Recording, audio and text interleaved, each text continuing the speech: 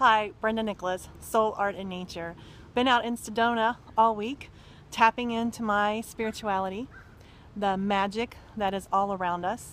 I've been um, speaking with the wolves.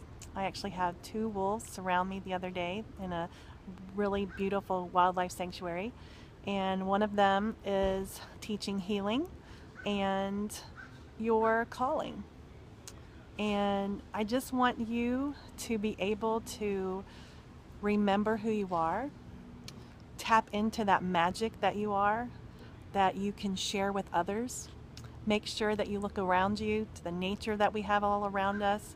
Listen to the sounds, the birds calling.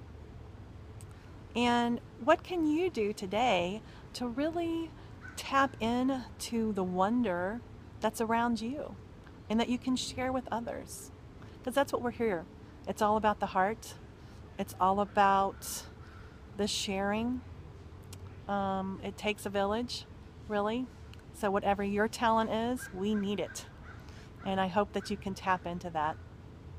And I'm wishing you a blessed day, and I'll see you on the trail.